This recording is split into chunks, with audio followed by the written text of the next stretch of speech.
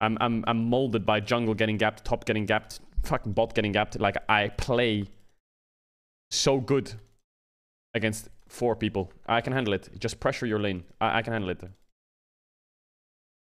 Like uh, the threat of dives, I like the threat of dives. I like living on the edge. I'm a thrill seeker.